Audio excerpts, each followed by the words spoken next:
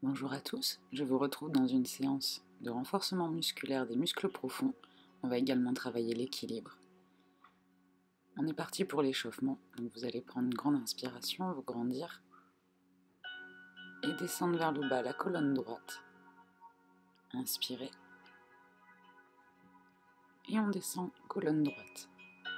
Essayez de rentrer les fesses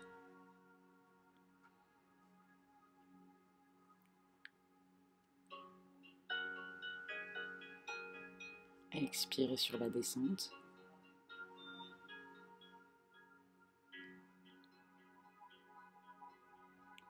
On va venir plonger vers le sol et dérouler la colonne.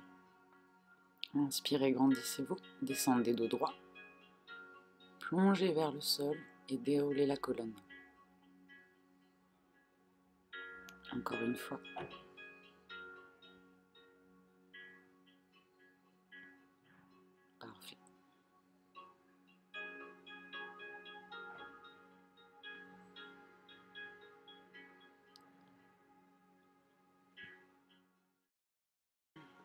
Ici, on va venir tendre un bras et on va venir s'enrouler et remonter. Pareil de l'autre côté. Grandissez-vous, fléchissez un peu les genoux et venez faire un grand cercle.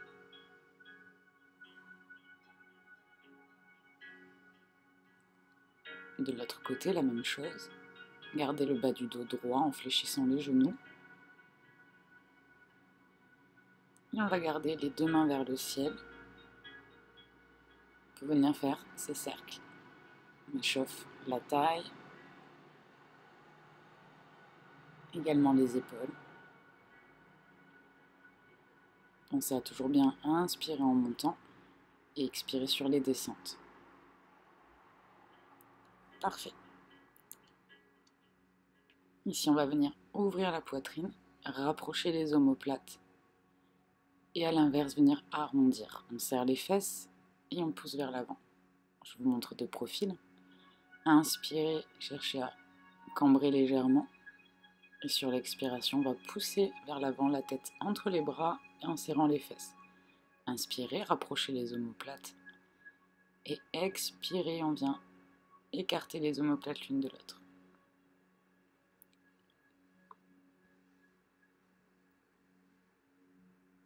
Ici, on va venir largeur des épaules avec les pieds et on va venir essayer de faire des inclinaisons sans bouger le bassin. En gardant le dos droit. Descendez aussi bas que votre souplesse le permet.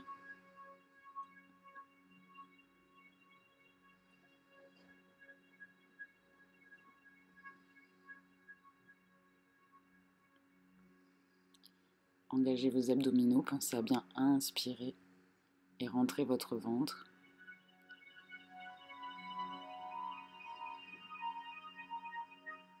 Ici, on va venir légèrement fléchir les genoux. On essaie de garder le bassin rentré. On va faire une légère rétroversion du bassin. Et on va venir pivoter d'un côté et de l'autre en gardant les épaules alignées.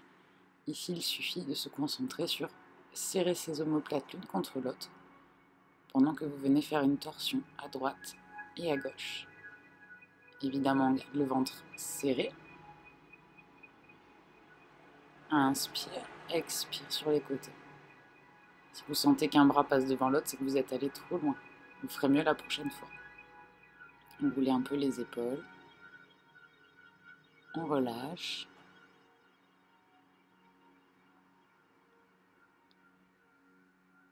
Parfait. Ici, on va venir pied largeur des épaules. On fléchit légèrement les genoux. Vous allez venir prendre une grande inspiration, lever les bras et plonger vers le sol. Pour garder le bas du dos droit, gardez les genoux légèrement fléchis. Si vous êtes très souple, vous pouvez relâcher en tendant un petit peu plus les jambes.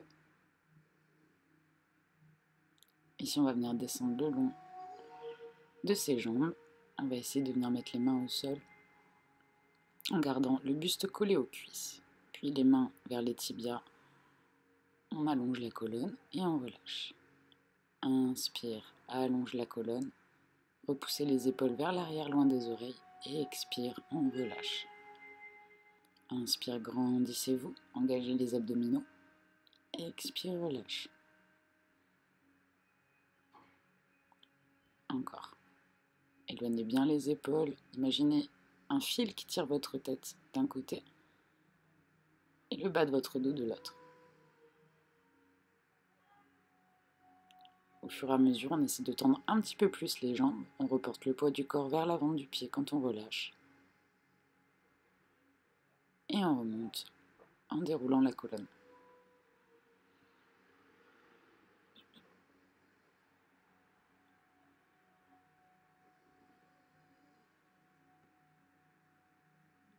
Ici, on descend, squat large, et on va venir dérouler en planche.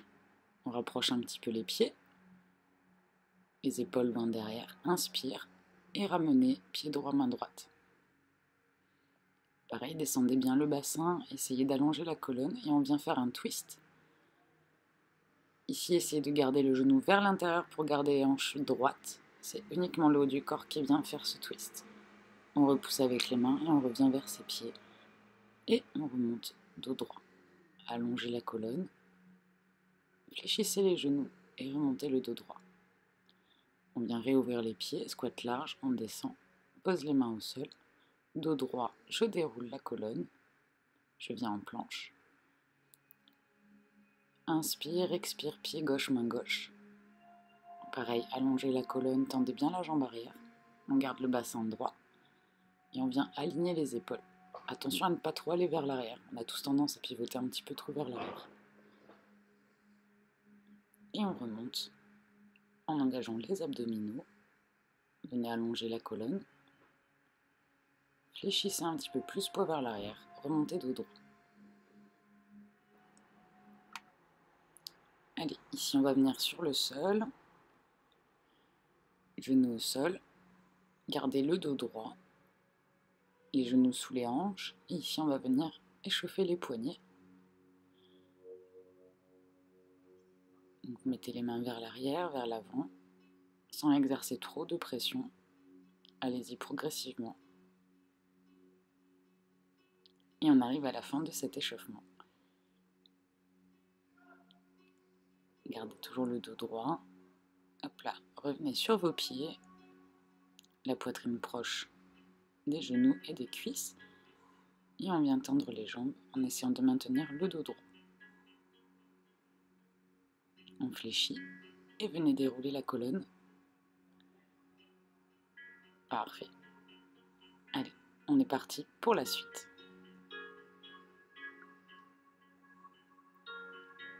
Premier exercice, on va venir les pieds largeur des hanches et on va venir s'ancrer dans le sol.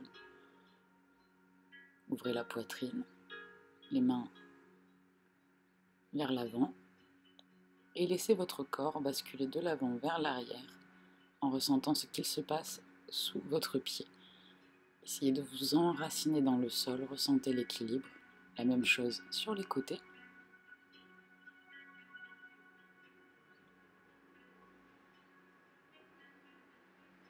Pensez à bien respirer et engagez vos abdominaux à l'inspiration et à l'expiration. On vient décoller un pied. Et pareil, suivant votre souplesse, hein, soit vous allez le garder au niveau du tibia, soit vous allez le monter sur la cuisse, ou bien encore carrément au niveau de l'aine. Parfait. Recherchez votre équilibre. Essayez de garder le genou ouvert pour garder les hanches bien face à vous et bien droite. Ouh là là, on sent que mon équilibre à moi était pas au top.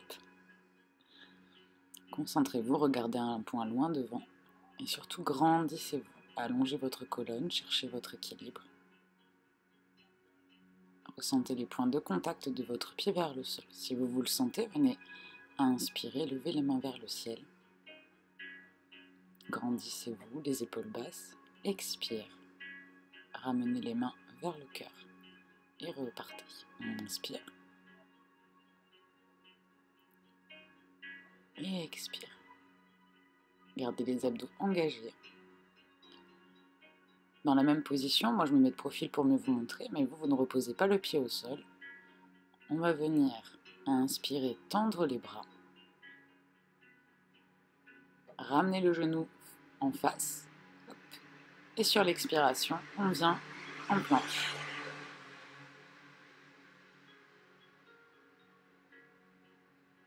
Respirez lentement. Inspire. Grandissez-vous. Tendez les bras vers le ciel. Expire. Lentement, venez en planche. Engagez votre périnée, votre sangle abdominale. Encore trois. Inspire, grandis-toi. Expire. Cherchez votre équilibre. Commencez à sentir les muscles stabilisateurs qui brûlent un petit peu au niveau de la cheville, des hanches. C'est le but recherché.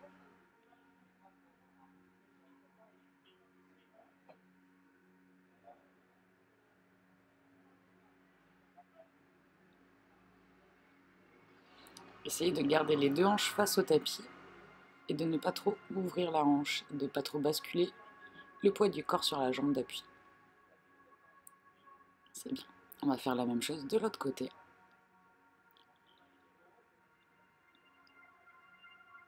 Alors essayez d'avoir le pied au-dessus ou en, dessous du, en dessous du genou, pas dessus. Hein. Moi c'est limite. Grandissez-vous.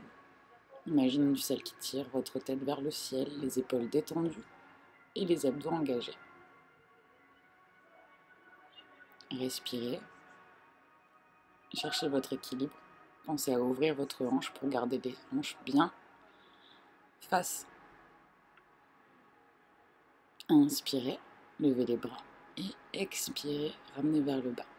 Ici, essayez de fixer un point loin devant et de rechercher votre équilibre.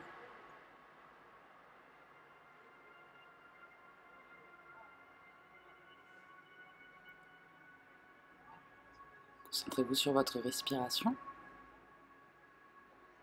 et sur ce qui se passe dans votre corps au niveau musculaire.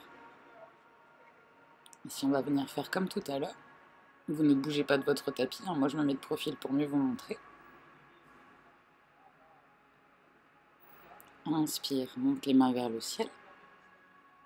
Expire, on plonge en planche. Inspire, on remonte le genou. On vient basculer au niveau du bassin. Les hanches restent face au tapis.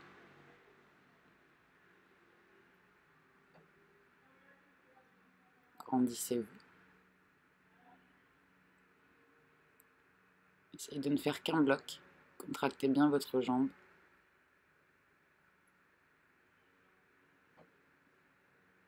Verrouillez les abdominaux. Contractez votre plancher pelvien.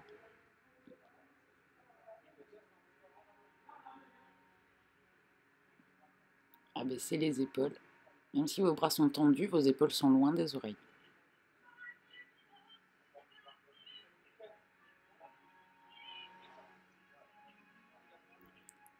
Ok, on passe à la suite. On va venir prendre la position du guerrier 2. Donc on vient en squat large, on ouvre la hanche, donc ici pied droit face à votre mur, le pied gauche 45 degrés, 90 degrés suivant votre stabilité, le talon de votre jambe droite dans l'alignement du milieu de votre pied gauche. On essaie de garder le genou au-dessus de la cheville. Alors actuellement j'ai des petits problèmes de genou donc je ne peux pas faire de flexion complète. Donc vous allez voir que je ne descends pas très très bas en revanche, si vous n'avez aucun souci, venez descendre vers le sol jusqu'à ce que votre jambe avant soit parallèle au sol. Ici, on vient faire une flexion du buste. Gardez les fesses serrées. On vient chercher vers l'avant et vers l'arrière. La jambe arrière est contractée également. On repousse le sol avec la tranche externe. Essayez de garder autant d'appui sur un pied que sur l'autre. Les deux pieds sont ancrés dans le sol. vous voyez que j'ai un petit peu du mal à descendre vers le bas. Normalement, il faut que le bas du corps soit fixe. Ici, on vient vers le sol. Vous pouvez garder une main sur la cuisse, bien venir au niveau de la cheville ou au niveau du sol. Les hanches sont toujours droites. On repousse le sol. Et ici, on va venir mettre la main là, dans le creux de la hanche, au niveau du dos. Et vous allez chercher à ouvrir la poitrine et à ouvrir l'épaule vers le ciel. Se redresse. Et ici, on vient, hop là, tendre la jambe droite, le bassin droit. Et on vient sur le côté. Hop là, descendre la main au niveau du tibia ou de la cheville. Si vous, vous le sentez, hein, vous pouvez venir lâcher la main ou la positionner vers le sol pour venir aligner bien vos épaules. Les abdos sont engagés. On essaie de maintenir le bassin droit.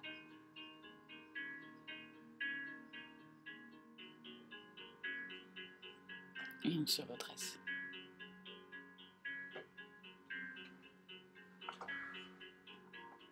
On va venir faire la même chose de l'autre côté. On démarre par le guerrier 2.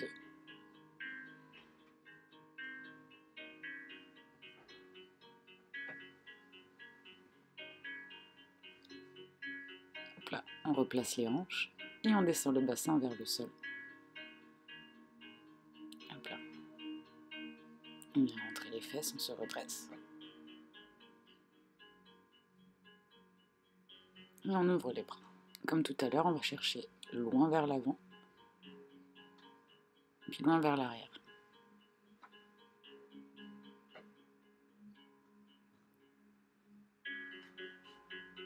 Essayez de maintenir les hanches face, on repousse le genou fléchi vers l'extérieur et on engage les fessiers.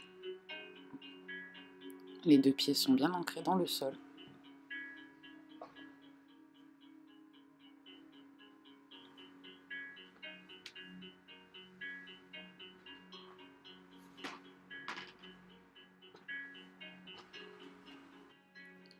Restez connecté à votre respiration ici, comme tout à l'heure, on vient basculer vers l'avant en essayant de garder les hanches droites, rentrer les fesses, serrer le nombril. Vous pouvez garder la main au niveau du genou ou descendre carrément au niveau de votre cheville. La main droite est dans votre dos ou posée dans le creux de votre cuisse. Et pour aller un petit peu plus loin, vous pouvez essayer de passer votre main sous votre jambe et d'attraper votre main qui est dans le dos et pareil, ici, le but va être surtout d'essayer de pivoter l'épaule vers le ciel, d'ouvrir la poitrine. Allez aussi loin que cela vous permet au niveau de votre souplesse.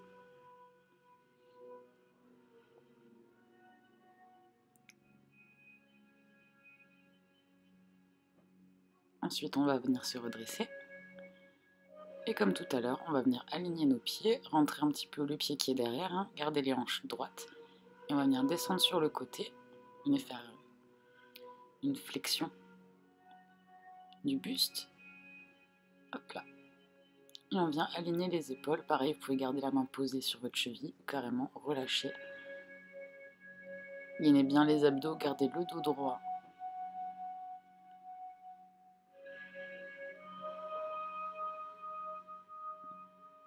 Et on ouvre bien la poitrine. Et on se redresse.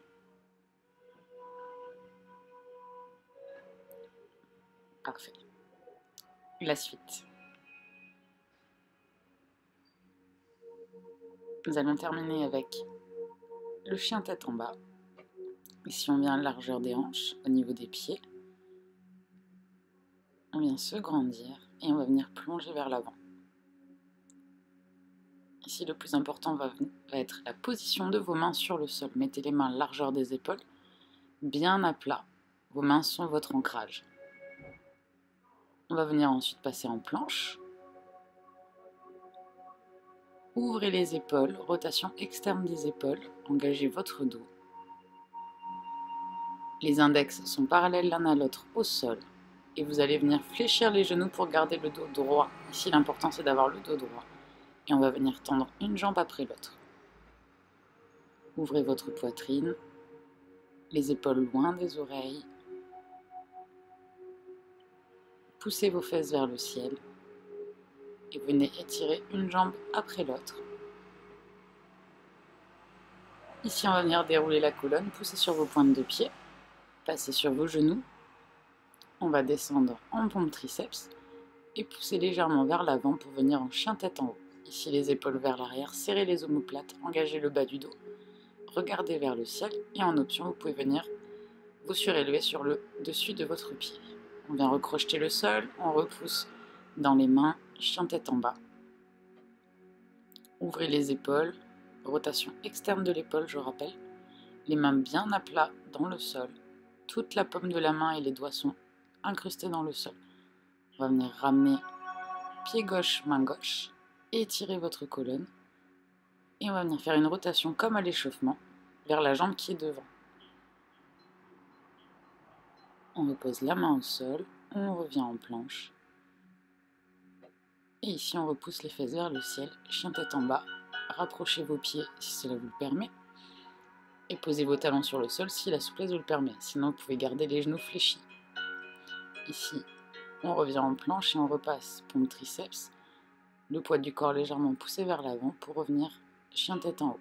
Sur le chien tête en haut, les épaules sont vers l'arrière, on serre les omoplates et on garde bien épaules, coudes, poignets alignés. De nouveau chien tête en bas. Essayez de rapprocher votre poitrine de vos cuisses, de monter les fesses vers le ciel et de garder cette rotation externe des épaules. Inspirez, pied droit, main droite. On essaie de garder le dos droit et on pivote.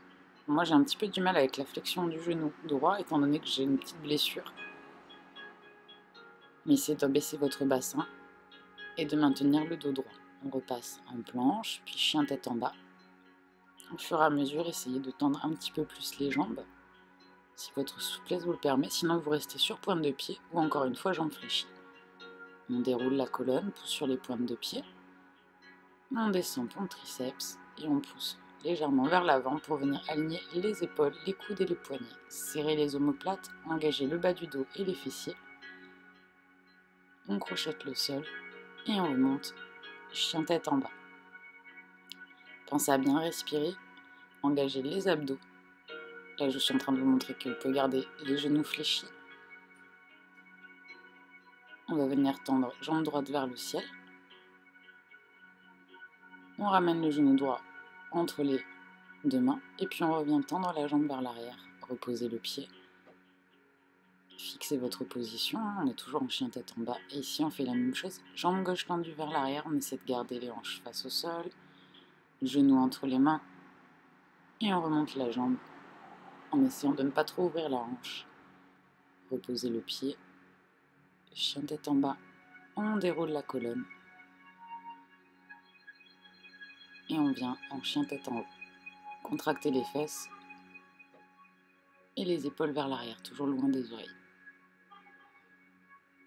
Imaginez que vous voulez ouvrir la poitrine et ramener vos pieds vers vos mains, genoux fléchis ou jambes tendues suivant votre souplesse. On remonte, étire la colonne, expire, relâche. Laissez votre poids du corps aller légèrement vers l'avant, inspirez et revenez le dos droit.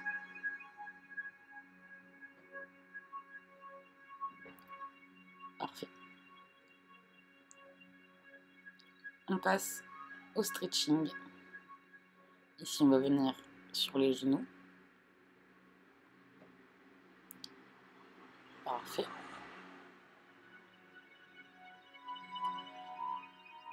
On va venir mettre la jambe gauche devant, la jambe droite à côté, 90 degrés, le dos droit, vous penchez vers l'avant. Option un petit peu plus dure. On vient tendre la jambe droite derrière. Ici, on se redresse, on pousse le bassin vers le sol, on garde bien les hanches face au tapis. Et pareil, dos droit, on va chercher à aller vers l'avant. Gardez le dos droit. Si vous le pouvez, venez poser le front sur le sol.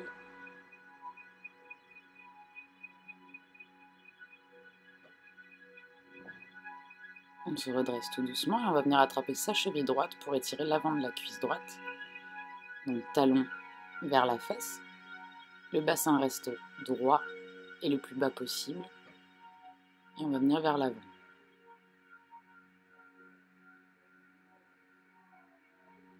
On va faire la même chose de l'autre côté.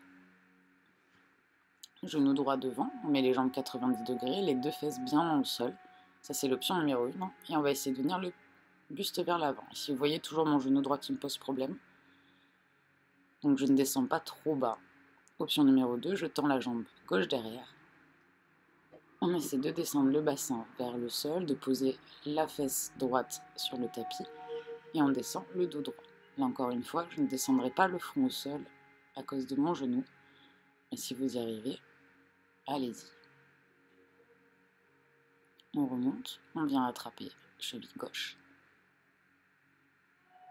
On serre les fesses, petite rétroversion du bassin, toujours le bassin vers le bas. Et on vient vers l'avant, si on y arrive, pour étirer. Petite option pour étirer les quadriceps. Hein. Si vous n'arrivez pas à faire l'option avec la jambe tendue derrière, vous pouvez vous mettre tout simplement sur le côté, aligner votre genou et votre hanche et venez serrer les fesses. Là. Je vous montre l'option dans l'autre sens. Hein. Donc vous venez le coude sous l'épaule, on abaisse le genou, talon de fesse, et ici on vient pousser le bassin vers l'avant, serre les fesses.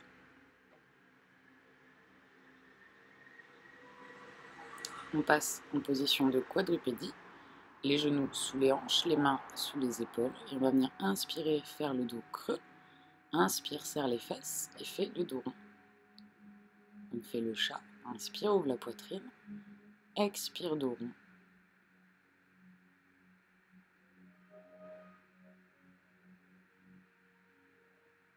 On vient étirer un petit peu les épaules.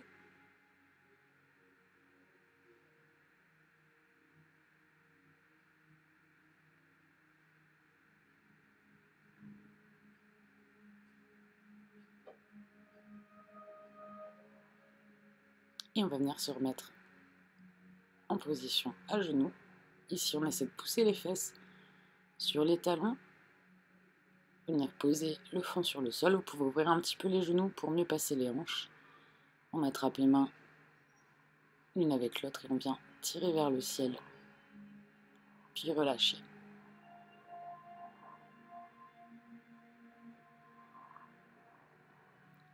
Hop là, on va revenir sur ses talons.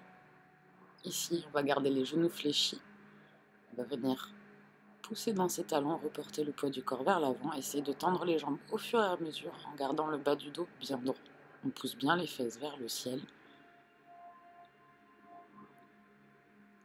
Et on relâche le haut du corps.